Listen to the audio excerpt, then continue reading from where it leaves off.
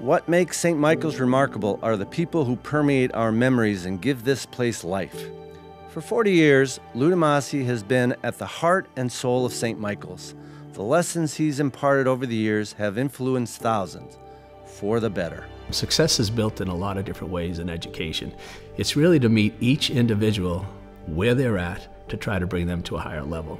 And that's been a philosophy that's been mine all through. I spent time in athletics, I spent time in student affairs, and, and the bottom line is, is that every student walks a different walk, walks to a different beat, and we need to meet them at that level to take them to a higher level. Lou briefly retired from St. Mike's in 2019, but he just couldn't stay away from the people who treasured his guidance and the place where he really belongs. In his current role as Student Success Advisor in the Office of Purposeful Learning, Lou continues to make a difference for students, faculty, and staff across campus. He is St. Michael's. He's, he's like the consummate unsung hero. And I, I just think that all the time that he spent on this campus that a lot of people didn't witness it. And the number of people he touched over the years, uh, you, you can't count. It's innumerable. Well, I can tell you that everybody knows Lou, and anyone that's ever had a chance to be with Lou or around Lou understands his commitment, his loyalty, and his you know, never-ending support of this uh, this institution and, and all that have come through it. And it, I'm proud to be one of those guys that benefited from his time because when I was that age, I needed a guy like Lou, and I was glad that, that he was around for me.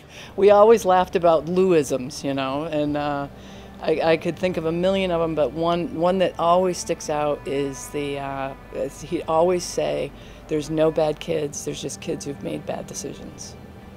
And you know that just epitomized Lou. He gave his heart and soul to every second of every day. He would just give anything. He would drop anything and everything to help somebody out. And I think that really permeates everybody to to be that person, that, that a better person because you've known Lou and, and better to other people around you. One of the many areas of the college you can support during this year's Giving Days are scholarships. Named scholarships are a great way to honor special people like Lou who have had an enormous impact on thousands of Purple Knights. By supporting the Lou DiMasi Scholarship, you're also supporting future Purple Knights.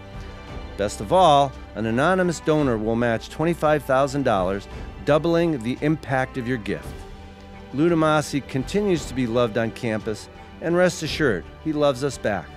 As Lou would say, who loves you, baby? Who loves you, baby? he still says that to me now. I'm 78 years old, and I see him on campus. He goes, Yo, Dave, who loves you? and I know it's Lou. I'm, I'm all good. I'm just thrilled to be here. Thrilled to be here.